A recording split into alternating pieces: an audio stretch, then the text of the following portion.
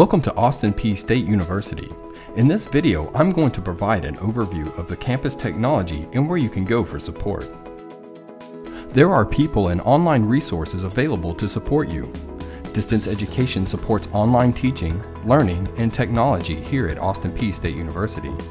Staff can help you navigate online learning and technologies like the Learning Management System, online proctoring, plagiarism detection, and web conferencing. Distance education support is located in the McReynolds Building, room 216, and is available by phone and email Monday through Friday, 8 a.m. to 4.30 p.m.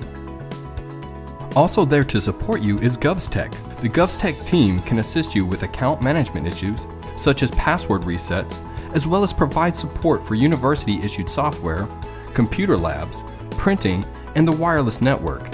They have an extensive website at govstech.apsu.edu with their services as well as a knowledge base with self-help tutorials. GovsTech is located in the University Center lobby and they are available by phone and email as well. We have good news for you. You will only need one username and password to log into all the technology systems including campus computers.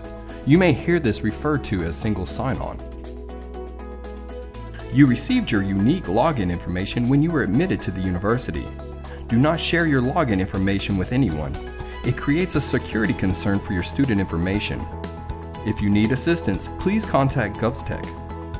We highly recommend you sign in for password recovery so that you can change and reset your password on your own. The link and directions for how to do this is available on the one-stop login screen, which we will talk about next. AP One Stop is the hub for connecting to the university. You can log in by selecting One Stop on the APSU website or by going there directly at onestop.apsu.edu. Under the Login button, there is a link to set up the password recovery. Once logged into OneStop, you can see that there are many tools to explore. Today we're going to start by highlighting Web Self-Service.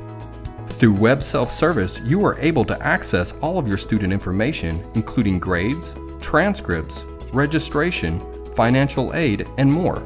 You will be here a lot, so it's important to know how to get in and navigate. If you have a smartphone, you can set up your phone to receive email. Step-by-step -step instructions are available through the GovsTech website. In addition to email, there are a variety of ways to connect with the university. APSU has a mobile app called Peay Mobile. You can view your course schedule, a campus map, an event calendar, and more. APSU is very active on social media. Many offices such as Distance Education and GovsTech have social media accounts that you can follow. Take some time to explore by searching for APSU on your favorite sites. Your security is very important to the university. Rave Alert is a text communication system used for security issues on campus and university closings. LiveSafe is an app which is available for download in the app stores. It is used to report tips with APSU police and request an in-person escort. More information about both is available on the APSU police website. It is important to understand that every class at Austin Peay could have an online component. APSU courses range from face-to-face to hybrid to fully online. Hybrid courses are a combination of face-to-face and online courses where students participate in course activities through both methods. We currently use D2L Brightspace as our learning management system where faculty regularly upload course materials online and interact with students. Your instructor may use D2L to distribute the course syllabus, class notes, grades, or post critical announcements. Additionally, you can take quizzes, submit assignments, participate in discussion boards, and access textbook resources. Just like your email, it's important to log into D2L regularly. There are two ways. The first is through OneStop. The second is by logging in directly at elearn.apsu.edu. You will use the same login information you use for OneStop. Once you log into D2L, you can see your courses under My Courses. However, you will not see any courses until the first day of classes as listed in the academic calendar. When you select a course, it takes you to the course homepage where you can see news items and access the course calendar.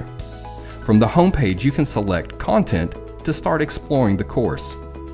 D2L has a very clean appearance and streamlined functionality. Navigation is easy and tools are simple to use. Distance Education provides videos on their website so that you can learn how to use D2L.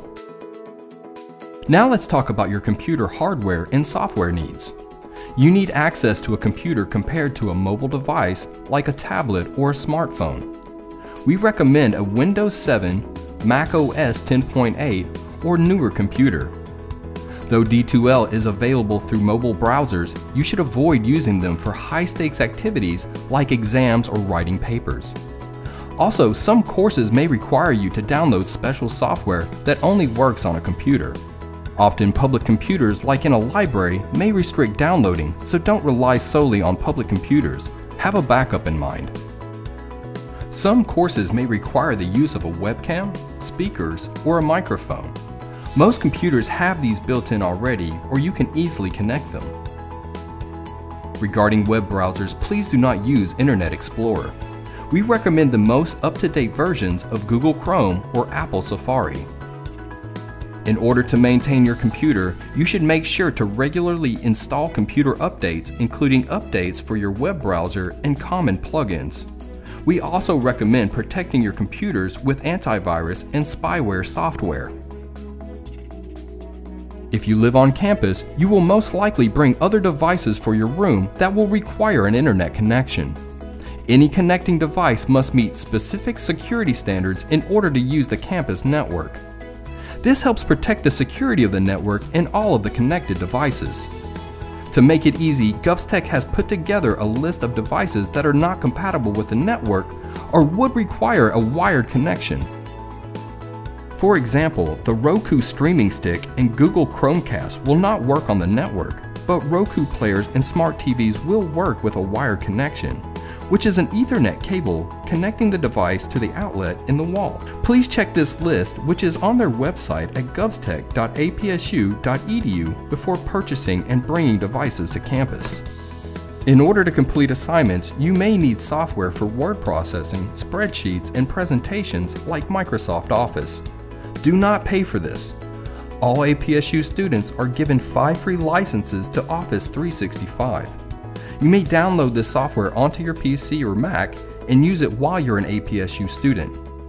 Visit office.com backslash get Office 365 to get started. For questions, please contact GovsTech. Austin Peay has partnered with lynda.com to offer the Lynda campus solution to all current APSU students, staff, and faculty. lynda.com provides online, micro-learning videos, courses, and learning paths so you can gain new skills based on your goals, interests, and experience. Go to apsu.edu backslash lynda to log in using your single sign-on credentials. For any problems, contact GovsTech. Let's review some of the takeaways from this video. Protect your single sign-on information. OneStop is the hub for connecting with the university. Check your email and D2L daily. Keep your computer and software updated. Make sure your devices are compatible. Get Office 365 for free your course may use online technology, so visit www.apsu.edu backslash online for resources and support. Visit govstech.apsu.edu for other technology services and resources.